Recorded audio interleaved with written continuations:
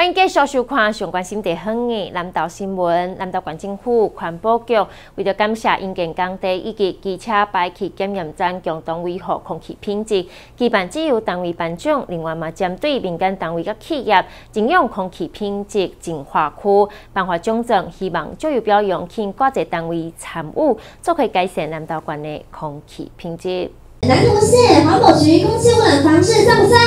在？大家做伙大声发赞，气氛是相当闹热。南投县政府环保局举办南投县优良营建工地空气品质净化区，啊，有机车排气检验站自由的单位颁奖，表扬南投县内各事业单位共同响应环保的政策，做伙维护南投的好空气。那今天我们大概主要针对三个主题来进行颁奖。第一个针对营建工地的部分哈，我们希望它可以减减少一些污染的。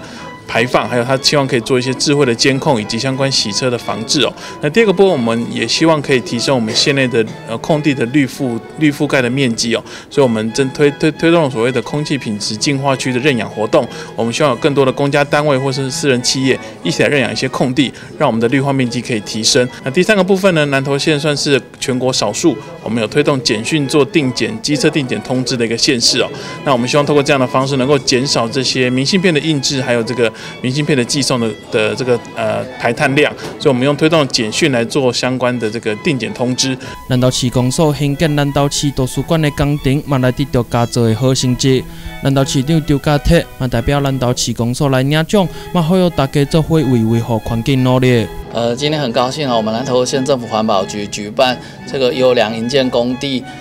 呃针对。空屋防治的这个机油单位哈，我们南投市公所这今这一两年哈新建南投市图书馆的工程当中获得这个佳作，呃也感谢呃环保局哦给我们这么大的肯定。未来我们在工地的管理上，呃也会为南投市的这个空气污染尽一份心力，呃能够尽量降低这个空气污染。我想这个对于每个市民的健康来讲非常重要，所以未来我们在各项的工程上会持续来努力，也欢迎大家一起来关心我们南投市的各核环境。南投县政府环保局嘛表示，希望加油公开表扬，会使发挥抛砖引玉的功能，让南投县的环境会使更加清气，大家做伙改善空气的污染，让南投县成为低碳宜居的城市。记者就由新采访报道。